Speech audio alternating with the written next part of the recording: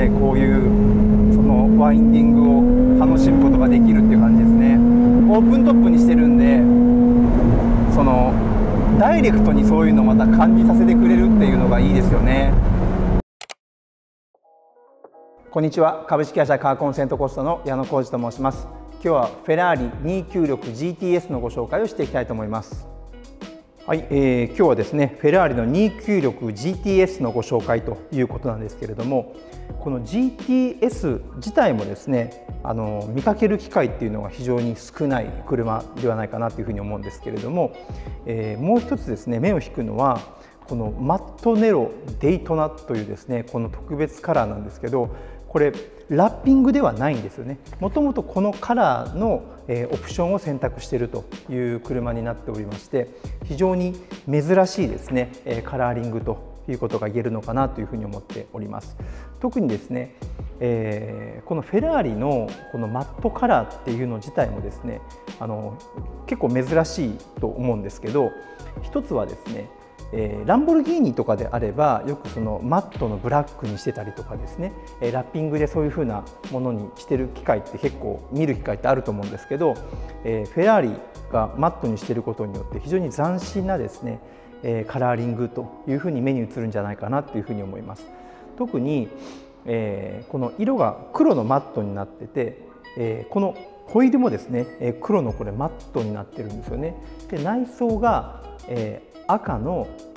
カーボンシートということになっているんですけれども開けた時のですねこのカラーリングの印象っていうのがですね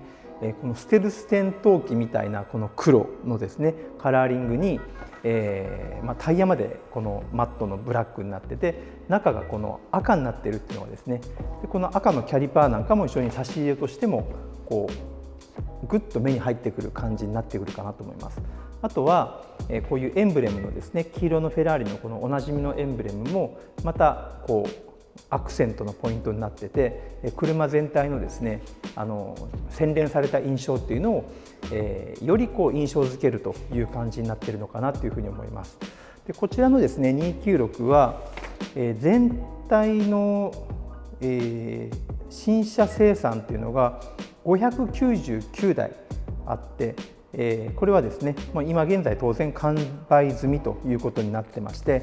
えー、購入しようというふうに思ってもですね今現在新車で買うことができないという車になっているということですね。で今回ご紹介させていただくこの GTS はえ、本年度の9月に初年度登録をしたばかりの車でして走行距離もですね今現在600キロということになってましてほぼほぼ新車のようなコンディションということで、え、今回も、え、念のためにですね AIS の査定をつけてるんですけれども評価点はですね5点内外装 AA ということで特にですねマイナス点のポイントっていうのは一切ないという状態になっております。前の方からですね外装を見ていきたいと思うんですけどすごいこうシンプルな感じのイメージですよね。でフロントの部分にもですね このリップスポイラーとかのカーボンっていうのをこれ多分あえて入れてないのかなというような感じですかね。で、えー、ライトもですね、えー、このブラックアウトされたライトになってるんですけれども、まあ、この辺りも全体のイメージにもぴったり合うかなというふうに思います。で、えー、横見ていきたいと思いますね。これで20インチのアルミが入っているんですけれども赤のキャリパーのですね当然カーボンブレーキが入っているということになっております。で横見ていきたいと思います。今ですねルーフを開けた状態になってるんですけどやっぱスパイダーでですねあの開けてるこの状態っていうのが非常に美しい感じのイメージじゃないかなというふうに思いますね。特にその、えー、このフェラーリのオプションというとどうしてもですねこのカーボンパーツがどのぐらい入ってるかみたいなものがですね、えー、一つのこうあのパーツがいっぱい入ってるかどうかみたいなですねところがあったりすると思うんですけどこの車はですねえー、内装に関してはかなりそのカーボンパーツが入っているような形になってるんですけれども外装はですね、えー、そこまであの過敏な感じになってないのかなという印象ですねまずこのマットの塗装のオプションだけでも相当な金額になってると思うんですよねまあ、この辺りがですね、えー、この車の大きな強みになっているのかなというふうに思います。で後ろ見ていきたいと思います。先ほどですね、まあ、2世代前のですねフェラーリの458と横にこう並べてみてたんですけど同じ車じゃないようなですね感じの、えー、もうイメージそのものが大きく変わってるなという感じですよね。でこのですねこのエグゾーストの部分でもそうなんですけどあのまだ F8 ぐらいまではギリギリ何と言うんでしょうねこう社外品のマフラーを入れて音がどう変わるみたいなのがあったのがもうこれだけ電子制御が入ったりとかいろいろしてくるとですね、えー、この社外品のマフラーが入れて爆音にするとかなんかそういったものがですね少しずつこう、まあ、変わってきてるのかなっていう感じがしますよね。これはあのこういったその車に限らずなんですけど最近の車でですね昔だったら、えー、例えば新車で車を買ったらすぐにオートバックスに行ってオートバックスでカップホルダーを買おうとかですね。いろいろあったじゃないですか。ああいうこうナビゲーションを社外品のものに変え、まあ、付け付け替えようとかですね。いうのがあったのが今ってもう純正のものが非常に使い勝手が良くてですね。特にその大きなあの不具合を感じることがないということがあってこのアフターマーケットっていうのがほぼほぼこう消滅しかかってるみたいなところがあるのかなっていうふうに思うんですけどこのマフラーの部分とかですね特にそのこのフェラーリの場合は、えー、正規ディーラーのこの保証を継承したりとかですねメンテナンスプログラムを使うとかいうふうになった時に社外品のものが入れていることによって入庫そのものができなくなるというようなことが、まあ、あの起きてきてるわけなんですよね。でそういうふうなリスクを背負ってまでそういうものをやらないという感じになってきてるのかなというふうに思うんですけれども、えー、純正のままですねノーマルのままの、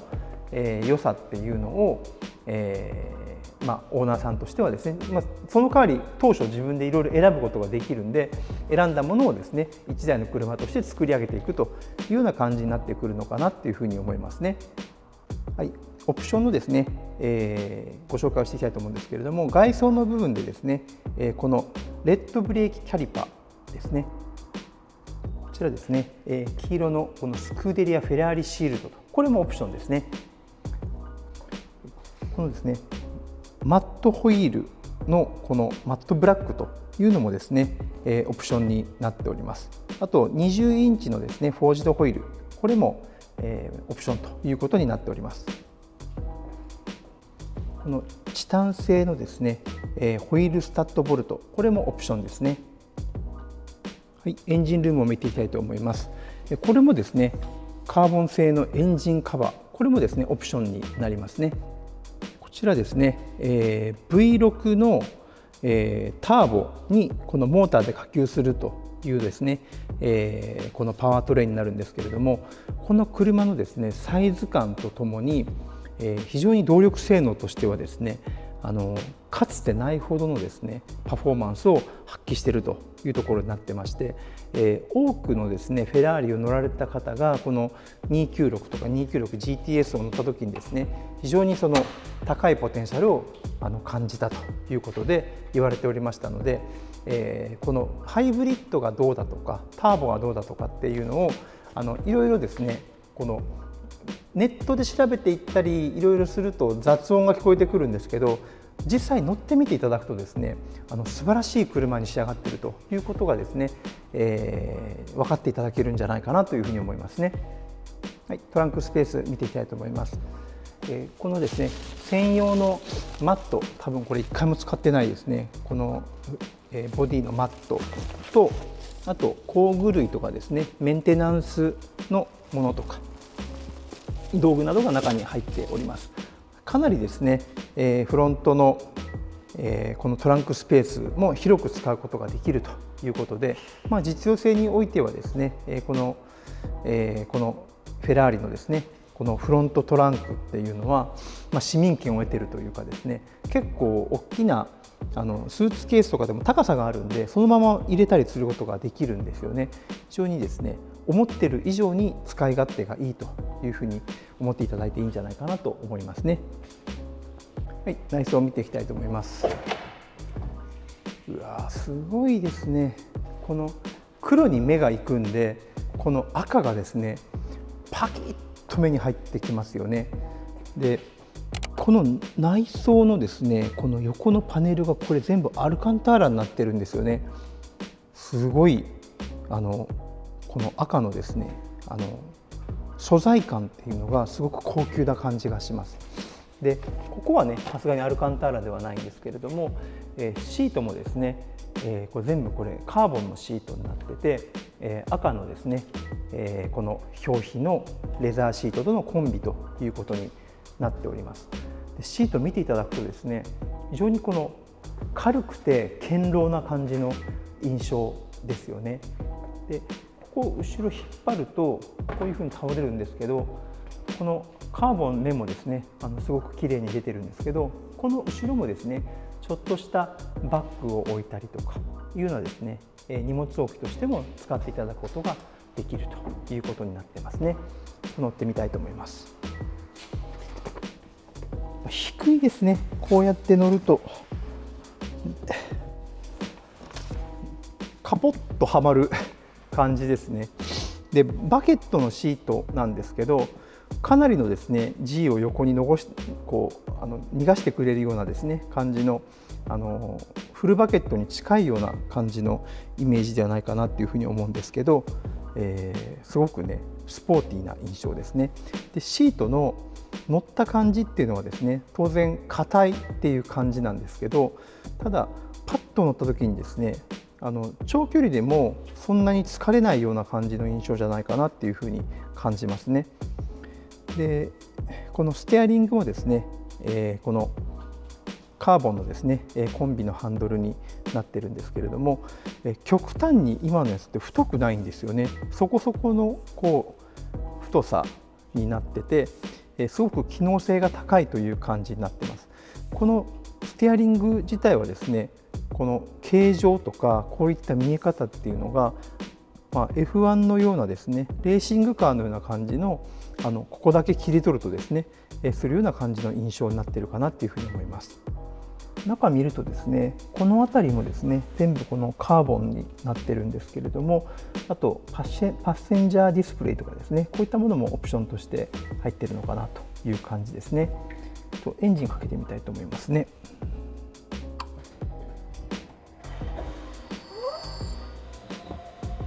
この車ハイブリッドなんで一番最初ですね、えー、このスタート時っていうのはこういった形で EV でですねスタートすることができるという感じになってます。でここからですねスポーツ走行とかになってくるとエンジンが始動してくるというようなですね感じになってくるのかなというとこですね。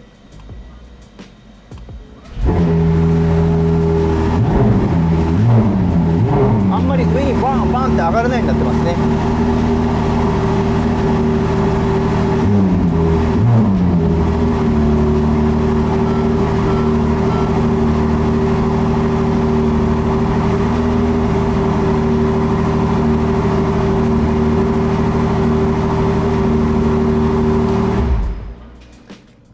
EV で、えー、指導していってですね、まあ、住宅街とかですね、まあ、そういうマンション駐車場ではゆっくりと出ていってで、え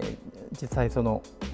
エグゾースト音自体は街中に出てからとかですねいうこともできます。これも EV 単体でですね、え、25キロだったかなそのぐらいは走ることができるということになってますので、まあ、その辺りもですね今までのフェラーリとしての使い勝手としてはちょっと違う感じでですね、使用用途っていうのを広げることができるのかなという感じですね。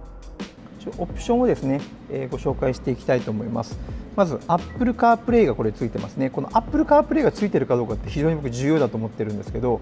今のですね、このナビゲーションの純正のナビゲーションで特にトヨタとかですねそういったところが採用しているナビゲーションって非常に使い勝手がいいと思うんですよね。まあ、そこと比較すると、えー、どうしても、まあ、フェラーリとかだとナビゲーションそのものがどうなの？というところがあると思うんですけどこれがですねスマートフォンと連動することによって使い勝手が格段に上がってくるというところがあるので Apple CarPlay ついてるの非常にいいですよね。あとアダプティブフロントシステムこれは、えー、前のですねあの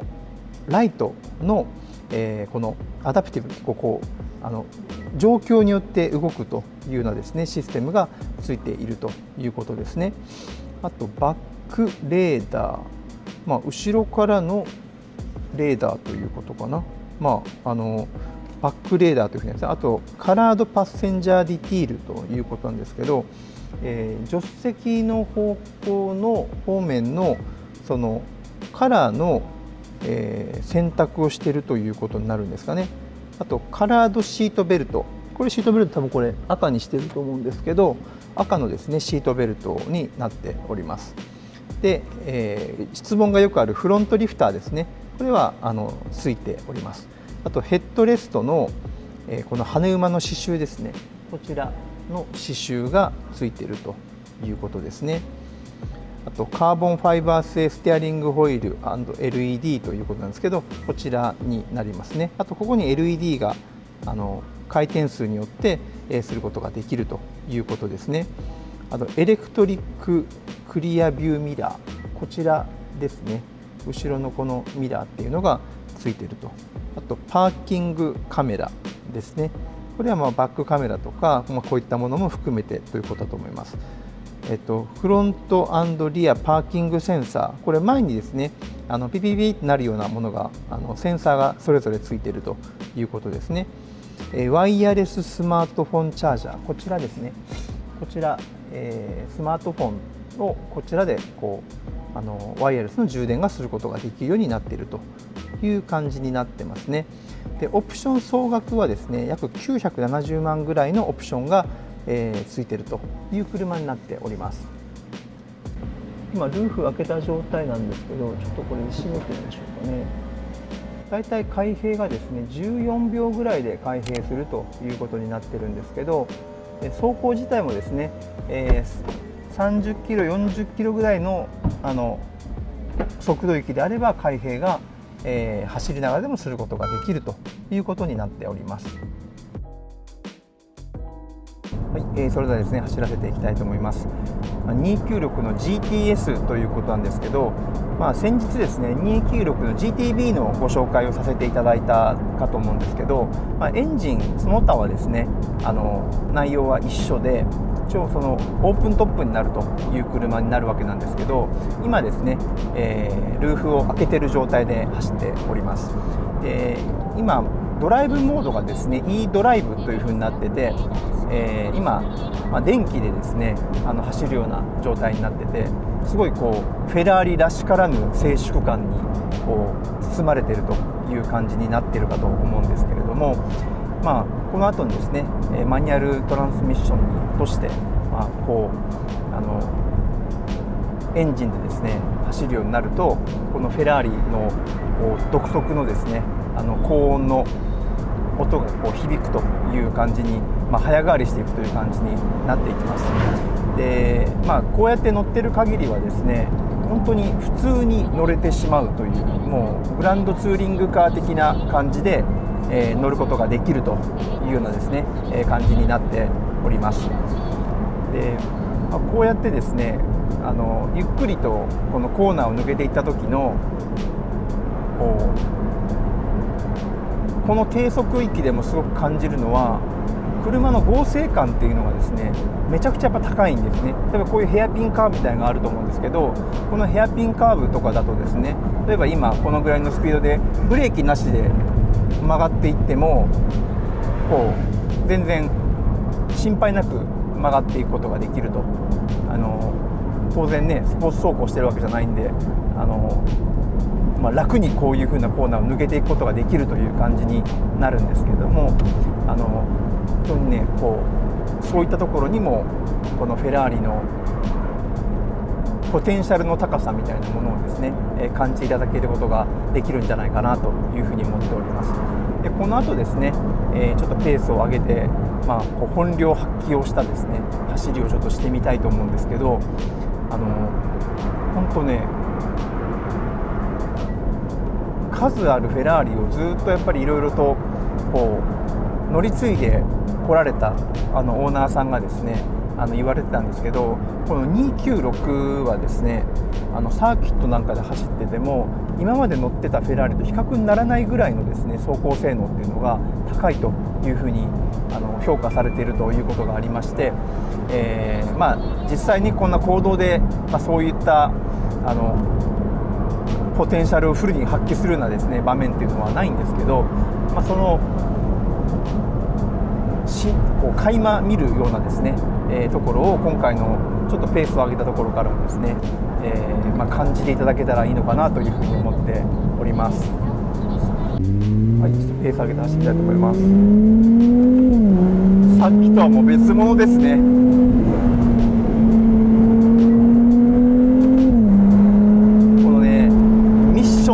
成感と正確なストロークというかね、カチッカチッと決まる感じっていうのがいいですね。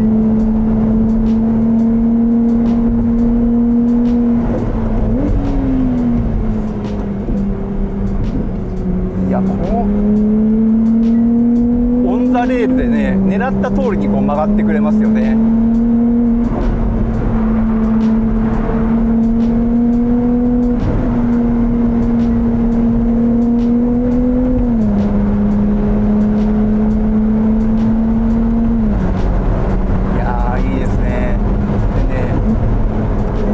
ブレーキもやっぱりすごい効きますし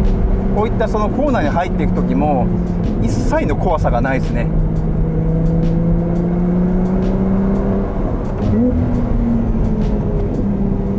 余裕を持ってねこういうそのワインディングを楽しむことができるっていう感じですね。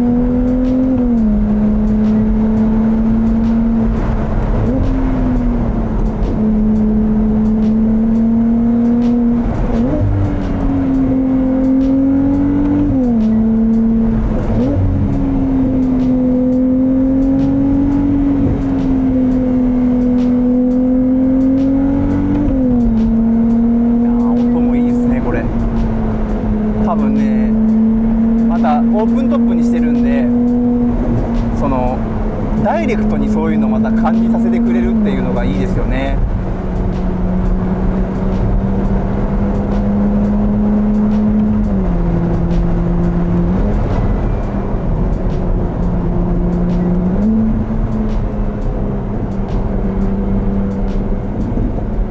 でこうやって走っててですね今まあちょっと速度を落としてですねこうルーフを締めるっていうこととかをですね、まあ、気分を変えて、まあ、ゆっくり走ろうというふうにですね思った際には、まあ、こうやってルーフを締めて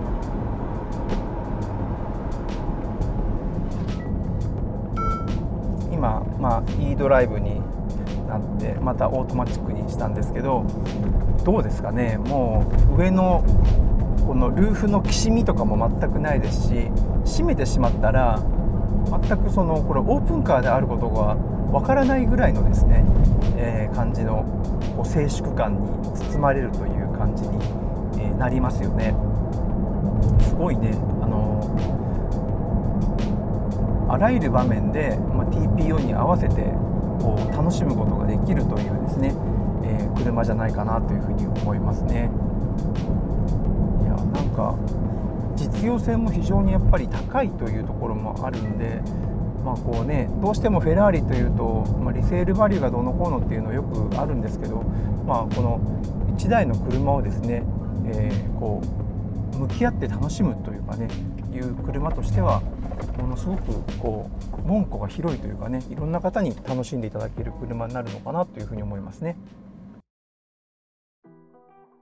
はいいかがだったでしょうか、え、フェラーリのですね 296GTS のご紹介をさせていただきました、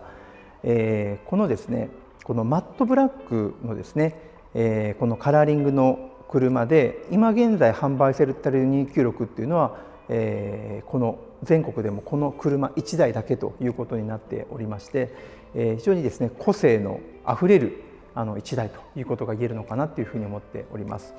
で296とかですね、えー、SF19 という車を最近乗る機会がですね、えー、何度かあったんですけれども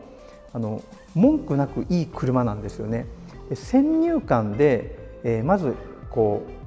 えー、ハイブリッドだからフェラーリっぽくないよねとかいろいろですねあのそういった先入観で入ってしまったりあとは今やはり情報をですねあのインターネット上でいろいろ取っていくということがあってですねあの少なからずこれ影響を受けてしまうというところがあると思うんですよね。でまあまあ、こういった YouTube とかでも弊社の車も結構ねあの YouTube の中ではあまり主観を入れないようにして、えー、こういった動画などの作成っていうのは意識してるんですけれどもどうしてもですね車屋さんがやってる YouTube っていうのはなんかこうなんて言うんでしょうね業界のぶっちゃけ的なことを言ってみたりとかですね、えー、まあこういったところに気をつけろみたいなですね他者の批判をしてみたりとか、まあ、いろんな、まあ、そういったあの動画などを散見することが、まあ、あったりすると思うんですけれども、えー、どうしてもですね、えー、車を、まあ、こういうところが買ったらダメだとかこんなのがダメだとかっていうのを専門家のあの視点でですねいろいろあの語るというようなものがですね結構出てきていると思うんですけどそこでですねどうしても左右してしまうところがあるというところがあると思うんですね。私自身のですねあの経験を一つ申し上げますと今ですねこういったその車だとあの値段が落ちるとか上がるとかあのいろいろ言うと思うんですよね。で皆さんが今スーパーカーの中でですねよく知ってる LFA という車があったと思うんですけどあの LFA ですね出てすぐあの買ったけど乗れないみたいな感じの方が弊社であの販売させていただく機会っても実はあったんですけどこの時にですね周りのスーパーカーとかやってる車屋さんの社長さんとかにですねこれどう思いますかって言ったら何と言ってたかっていうと多くの人がですね3600万とか4000万の車をトヨタで作ったものを買うぐらいならアベンタドールを買うよっていうことを言ったんですよね。これを高い金額で売ったりとかするととんでもないことになるよっていうことをあの幾同音言われるということがあったわけなんですけれども今現在どうなってるかっていうとそれらの車って全部1億円超えになってるんですよね。その車ってえ当時100キロぐらいしか走行距離走ってなかったんでそのまま走ってたらですねひょっとしたら今1億5,000万ぐらいになってる可能性もあるとその時お客様に提案してた金額って多分4,000万円ぐらいで販売してたと思うんですけど